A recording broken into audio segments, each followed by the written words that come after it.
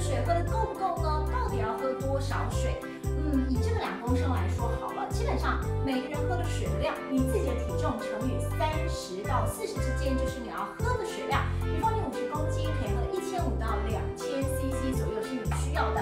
而在夏天呢，最担心的就是大家吃的是隐藏版的高钠食物，有哪一些呢？你觉得流了很多汗，所以喝了一罐运动饮料，没有想到这占了你每天所需要含钠量的十分之一哦。哇，觉得夏天热就吃一点点的这个，呃，像是面线呐、拌的干面线，居然已经超过一天含钠量嘞。另外，凉面就最地雷了，中午不想吃东西，想说吃个凉面比较清爽吧，居然也占了一天二分之一的含钠量。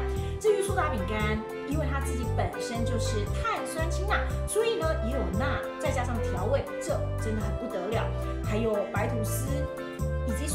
都是哦，基本上它在做的过程都会加很多的盐，所以也是要注意的。